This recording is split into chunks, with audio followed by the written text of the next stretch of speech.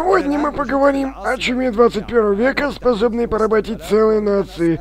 Ну и передаю слово своему коллеге с уебанским голосом. С древних времен задачей мужчины является охота, рыбалка и ведение своего личного видеоблога. Но однажды представитель сильного пола приручил бабу, тем самым совершил самую страшную ошибку, переменившую всю его жизнь. Для тех, кто не понял, объясняю. Баба обыкновенная, ржет на всю улицу для привлечения внимания особей мужского пола. Но однажды женщина совершила самую страшную ошибку в своей жизни. Она слезла с хуя своего ёбаря, села за комп и начала говорить, ведь теперь ее рот был ничем не занят. Глупая баба не понимает всего ужаса в своих действиях, после чего в ней начали проявляться проявляться ее древние животные инстинкты. Как ее дальний родственник Кингурих, она постоянно тревожится за свое дитя, хранит его в сумке и проверяет, не выпал ли он где-нибудь по дороге. Что сейчас находится в моей сумке? Что в моей сумке? Находится в моей школьной сумке. Сумке. Хожу вот с такой сумкой. Я... Что в моей сумке? Весь мир катится в ад.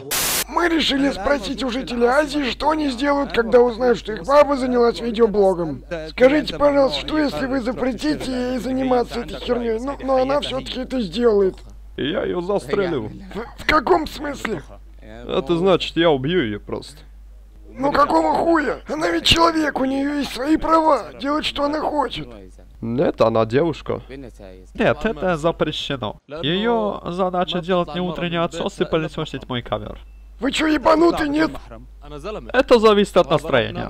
Если она сделала плохой отсос, то мне нужно двинуть ей по ебалу.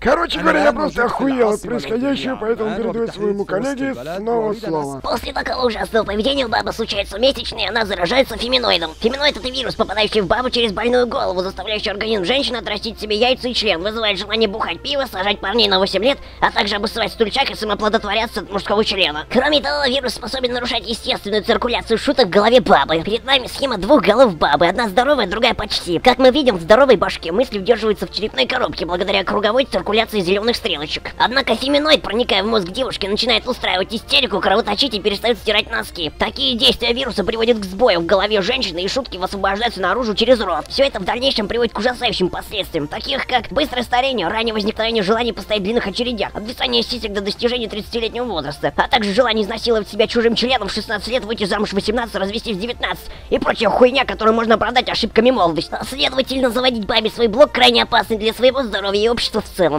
Поэтому при обнаружении себя желания мыться едой, нанизывать прокладки на веревку, вместо того, чтобы сувать их себе в пизду и творить несусветную хуйню, срочно звоните нам и заказывайте книгу с ебанскими цитатами из паблика ВКонтакте. Пока девушка будет постить весь этот шлак себе на страницу, незаметно выложите в Инстаграм ее фотки без макияжа. Когда баба поймет, что ее наебали, это не умная цитата, а всего лишь предвыборное обещание всех президентов мира, будет уже слишком поздно. От нее начнут отписываться поклонники, что приведет к желанию завести семью, взять ипотеку на 20 лет и прочие житейские нужды. Но это в любом случае лучше, чем заводить себе блог. От себя хочу добавить, что прекрасно отношусь к женщинам, это был всего лишь Степ. Поэтому поздравляю всех там с наступающим Новым Годом, а пидорасов и феминисток на костер.